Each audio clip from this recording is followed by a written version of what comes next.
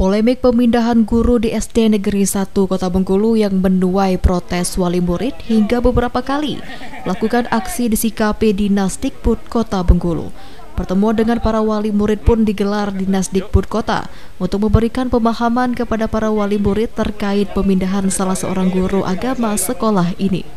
Dijelaskan Kepala Dinas Dikbud Kota Bengkulu Agunawan dalam pertemuan ini sudah menemukan kata sepakat yakni para wali murid sudah memahami alasan pemindahan Erzon kembali ke Kementerian Agama.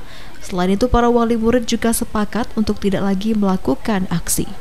Sementara menyikapi tuntutan para wali murid yang meminta adanya evaluasi dan pergantian kepala sekolah, dikatakan Gunawan evaluasi terhadap kinerja kepala sekolah tersebut hingga saat ini masih dilakukan, termasuk seluruh kepala sekolah lainnya di Kota Bengkulu sehingga kita menyampaikan seluruh rangkaian terkait dengan uh, permohonan wali murid.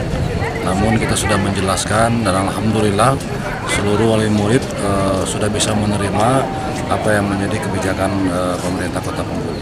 Nah, terkait tuntutan evaluasi Kepsek ini seperti apa itu?